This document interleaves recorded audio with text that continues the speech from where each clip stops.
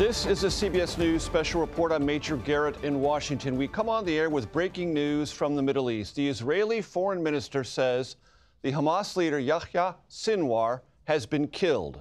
Sinwar was one of three people killed during an Israeli military operation in southern Gaza.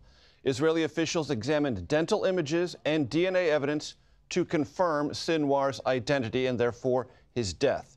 Sinwar led Hamas since the summer and has been one of the key figures within the terror organization's political and military clashes over the years with Israel. He is also significantly the alleged mastermind behind the October 7th, 2023 attack in Israel, which killed roughly 1,200 people. Since then, Israel has engaged in a devastating ground military operation in Gaza to destroy Hamas and one of its other missions to, quote, find and kill Sinwar. CBS News foreign correspondent Ramy Inocencio joins us from Tel Aviv. Ramy, this has been talked about on social media for the better part of two hours. We now, through the foreign minister, have what constitutes confirmation. What else can you tell us? Yes, that's right, Major. Uh, the Foreign Minister Israel Katz saying that this is a great military and moral achievement here, also pushing back that this is everything that they wanted against the evil axis uh, led by Iran. And images of Sinwar first started circulating around 3 p.m. local time here. It's now been about five hours or so since then images of what appeared then to be a dead man curled up in a pile of rubble and with a, a, deep gash across the top of his head. The IDF then released a statement about an hour later saying that during operations in the Gaza Strip, they killed three terrorists, and then they started checking the possibility that one of them was, in fact, Yahya Sinwar. Tests were run on his DNA, his fingerprints were checked because Israel has those records from the time Sinwar spent in prison. And uh, now, interestingly, local Israeli media are reporting that Sinwar's killing may actually have been by chance, that Israeli troops were clearing the area, saw these three people fired on them, and only when they went to inspect their bodies did they think that one of the men looked like Yahya Sinwar, and now we get that confirmation that it was. And Ramy, in the main, Sinwar has been not that visible above ground in Gaza, as I understand it, and that has been one of the complicating factors for the Israeli Defense Forces as it has carried out its campaign in Gaza. Is that correct?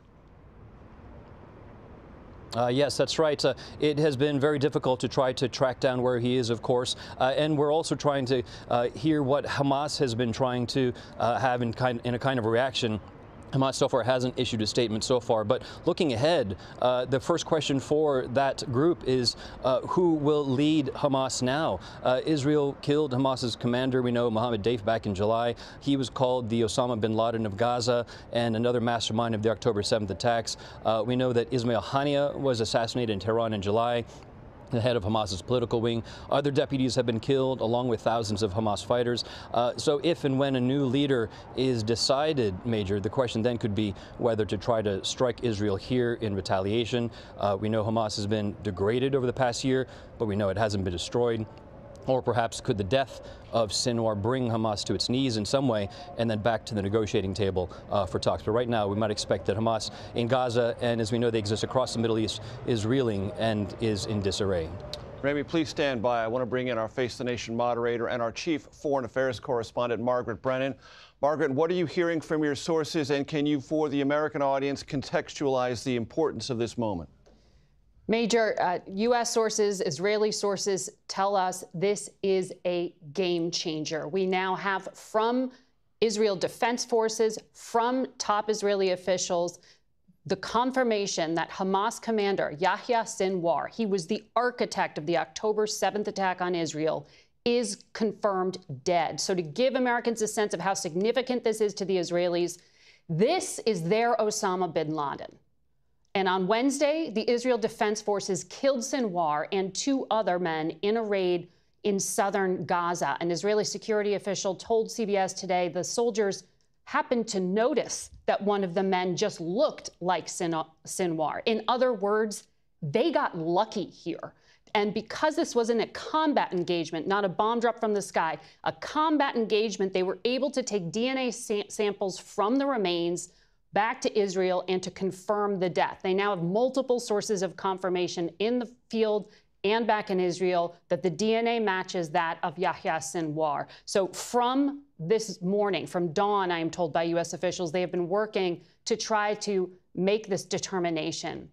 We know President Biden is traveling outside of the country, but throughout the morning, he has been regularly updated aboard Air Force One. And at this point, all my reporting is that there was no U.S. role in the specific attack that killed Sinwar Wednesday. But for more than a year now, U.S. intelligence and Joint Special Operations Command have been side by side, hand in glove with the Israelis, trying to help them through intelligence sharing. Uh, hunt down the leaders of Hamas, including Yahya Sinwar. The top echelon of leadership has now been killed. Sinwar was the mastermind responsible for that surprise attack October 7th, an insurgent attack against one of the most sophisticated military forces in the world. It killed 1,200 Israelis. His stated intent was to help Palestinians to shake off through force Israeli rule. But his actions also led to a war between Hamas and Israel that has so far killed 42,000 of his fellow Palestinians, according to the Gaza Ministry of health, the majority of them major women and children. So this death is potentially a game changer for the conflict, but there are a lot of unknowns. Ramy mentioned some of them. What happens to the roughly 100 remaining hostages Hamas took last year? Four of them U.S. citizens. Uh, another wild card. Who steps in to take over Hamas? Will they be more willing to negotiate a deal with Israel? How does this play out, by the way, in Tehran. Remember, this conflict has spread through the region over the past year, and we have been on standby waiting for an expected Israeli retaliatory attack on Iran because of other assassinations the Israelis carried out against Hezbollah leaders, uh, another militia, that one based in Lebanon.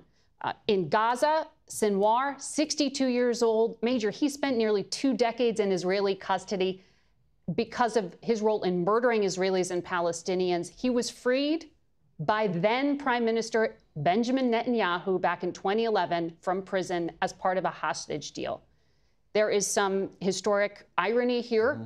that we will shortly hear from the Israeli Prime Minister once again, Benjamin Netanyahu, that Yahya Sinwar, the man responsible for killing the most number of Jews since the Holocaust, during the reign of Prime Minister Netanyahu is now confirmed to be dead at the hands of Israel Defense Forces.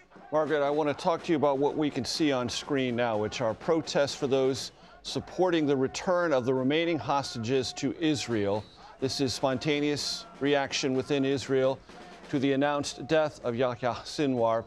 And as you mentioned, 90 or so hostages believed to still be alive. Do you believe, and do you have any source information this hour that suggests the death of Sinwar might in any way, since he was the principal interlocutor with not only Israel, but Egypt, the United States, and others involved in these ongoing negotiations, that there might be a better prospect of winning the return of those hostages in the aftermath of his death? Major, I, I, put that question early, earlier today to a number of U.S. officials who say a lot depends on the choices being made in the coming days by the Israeli Prime, Min Prime Minister Benjamin Netanyahu. I spoke to some Israeli sources as well who do see this as a moment of potential opportunity. The prime minister could look at this and say that Israel has taken out the top echelon of Hamas leadership. They could use that to declare victory and to wind down the conflict in Gaza. Do they do that in a way that unlocks a deal with Hamas for the release of hostages? That's the broader question. And for the families of those, like the protesters that you see out there in the street, their number one priority is bringing home those being held against their will who have been there for more than a year now. Margaret Brennan, thank you very much. I want to bring in CBS News senior national security correspondent Charlie D'Agata, who joins us from the Pentagon. There have been enormous or certainly significant measurable deployments of U.S. military personnel in the last year after the October 7th attack. Charlie, what are you hearing there at the Pentagon? Yeah, well, Major, just like everybody else, we've been waiting all day. We heard the news this morning. We've been trying to scramble for confirmation. This will potentially impact U.S. forces in the area. There are 40,000 U.S. forces there. Uh, there's a strike uh, carrier strike group in the region, several destroyers. Uh, development just this week. Uh, there's been a battery, a THAAD battery, a missile battery, which is to help out Israeli air defenses.